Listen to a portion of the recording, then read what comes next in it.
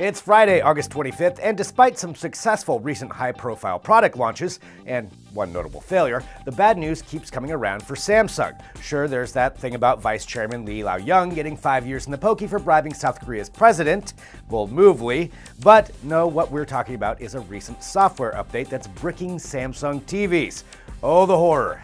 According to The Guardian, hundreds of Samsung TVs, mostly in the UK, are now useless after a software update went out last week, and the old unplug it then plug it back in trick just isn't working. Indeed, Samsung says an actual technician will need to pay a personal visit to your state of the art flat screen in order to revive it. Users are reporting that the TVs are getting stuck on a channel and won't respond to remotes or smartphone apps to reset them. Also, some apps, like Netflix, aren't working either. To compound the issue, TV owners said at first they got little to no help from Samsung.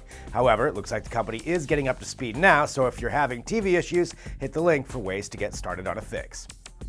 So, will the new Apple iPhone 8 have wireless charging or not? Our friends over at BGR say a new photo could indicate it will indeed.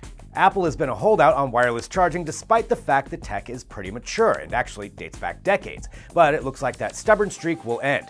BGR says this photo that floated around on Weibo shows the ring like wireless charging tech that is in the new phones, which are expected to be announced anytime now.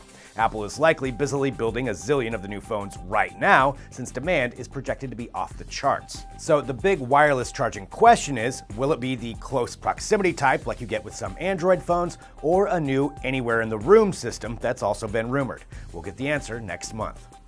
Hey, got a buffing wheel, some armor all, and a few free weekends? Then we have the car for you. This lovely 1969 Ferrari 365 GTB slash 4 Daytona Berlinetta alloy by Scaglietti barn find. Yes, a barn find, as in it's been in the barn for 40 years, but hey, at least it's kept the rain off. Oh, did we mention it's the only 365 GTB slash 4 of its kind left in the world? Yeah, there's that too. So if you're thinking you could reel it in on the cheap, hose it off, and have your buddy detail it for 50 bucks, yep, it's not gonna happen, as the auction house putting it up for bid is expecting it to go for $2 million and maybe more. Jalopnik says the car was initially sold to a close friend of Enzo Ferrari and then bounced around to four other owners before landing in a bar. Here's what it'll look like after some soap, wax, a little tune up, and a truck full of money. Good luck bidding. We've got more barn finds, okay, not really, on digitaltrends.com, which is where you can also get the rest of the day's tech news, along with our Facebook page and YouTube channel. And be sure to check out Between the Streams, our entertainment podcast, where we'll go behind the scenes with some Game of Thrones rumors. Thanks for watching. We'll see you next week.